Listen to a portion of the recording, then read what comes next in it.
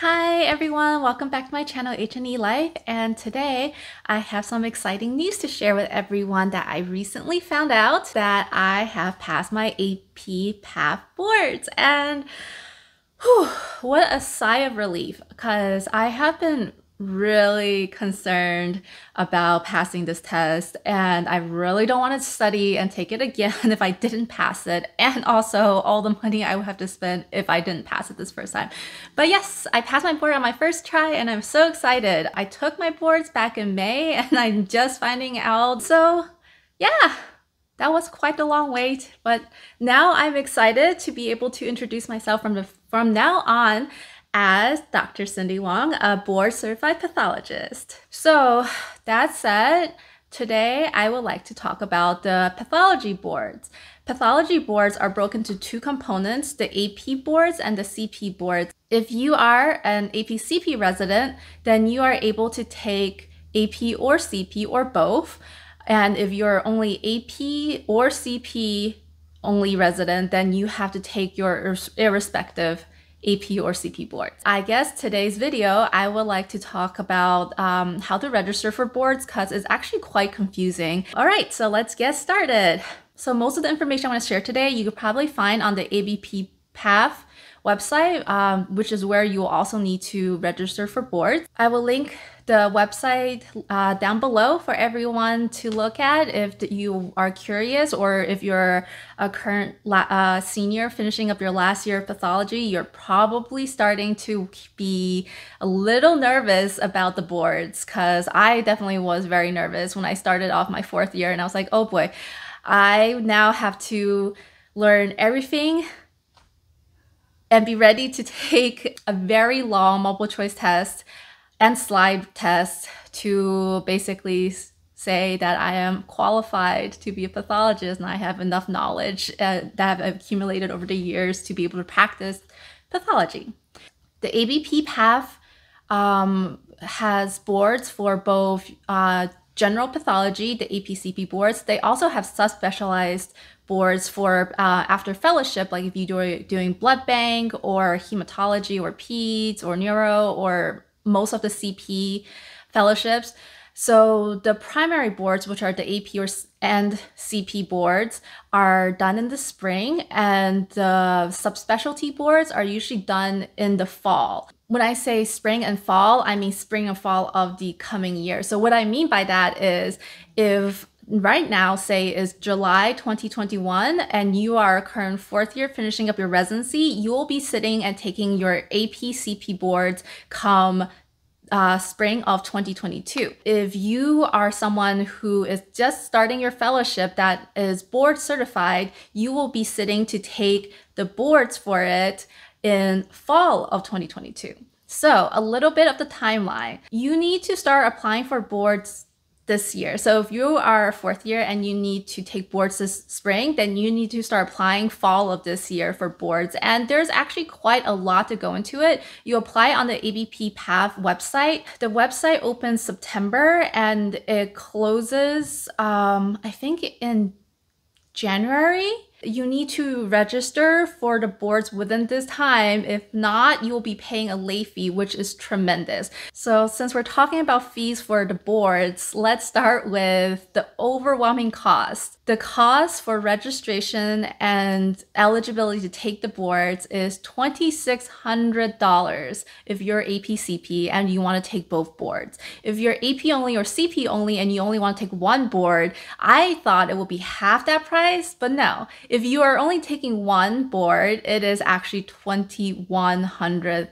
dollars. So yeah, get ready to spend quite some money registering for this boards. And this is why I'm so relieved I don't have to take this test again because, well, that that was a lot of money and that's a lot of money to lose if you don't pass the first time. And remember how I says make sure to apply before the deadline because after the deadline in January, I think there is a substantial fee. The late fee is half the price of the registration fee. So for example, if you apply for APCP boards late, that is a 1300 additional fee on top of that. So you end up paying well, close to $4,000 if you applied late. So, yeah, don't apply late. Make sure you apply on time so you don't pay for the fees. Some caveats about taking the boards after you register is that even if you register, you need to make sure that you have completed your autopsy requirements before they will approve you to sit and schedule for your boards.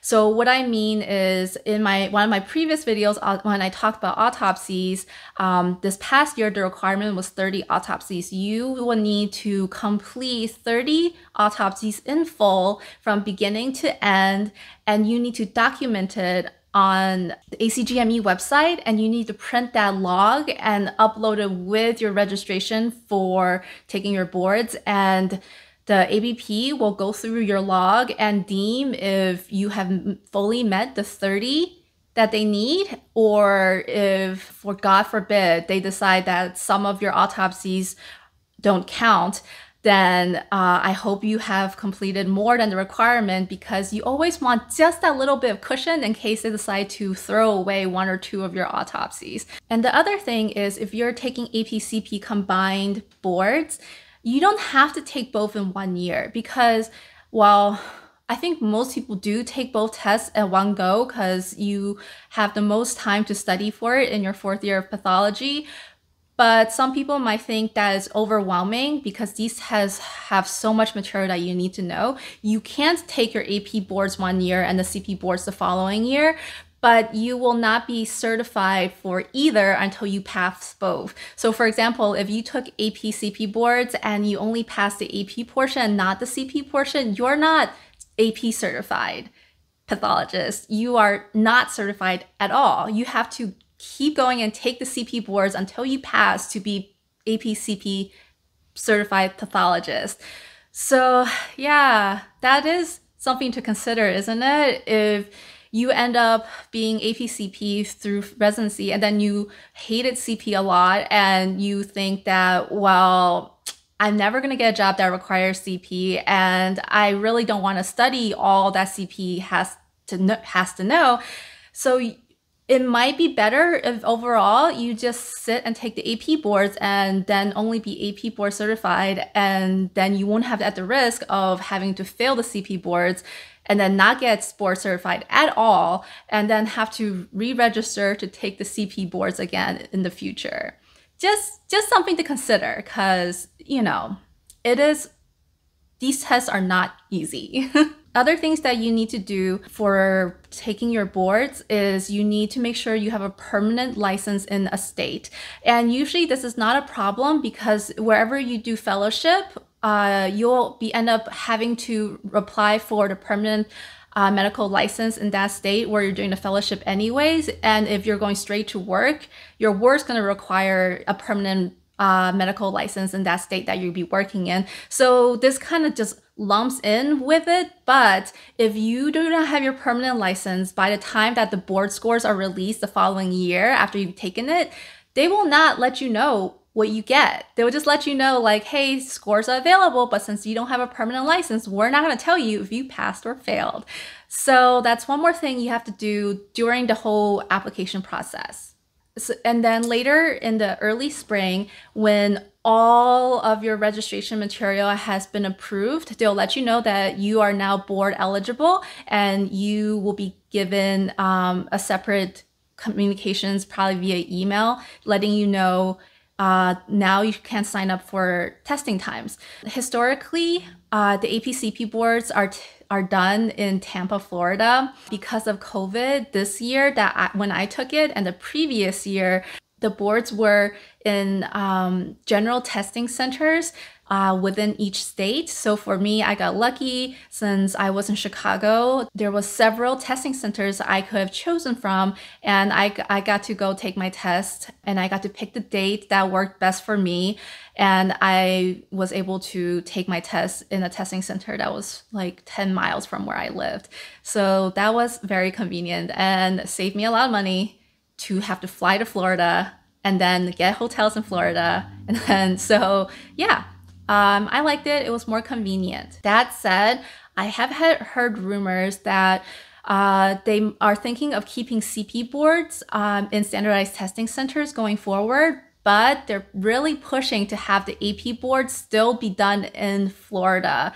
And I don't know why, but yeah, so that is a rumor, and I don't know how true it would be, and I don't know what will happen for the 2022 um, spring primary APCP exams. I guess we'll find out when they finally release information. So I sort of went through the timeline. I kind of told you everything that you need to be able to register and be board eligible. Like I said, um, I really didn't know about this whole process when I was in fourth year, and um, I basically didn't sign up to register till like beginning of January, which was like right around the deadline. And I was like, oh, thank God that like I was like, oh, let me check the website because for some reason I thought like either the ABP PATH people or someone in my department will email all the fourth years, be like, hey, by the way, it's time to register to take the boards. And while I got no such email, so yeah.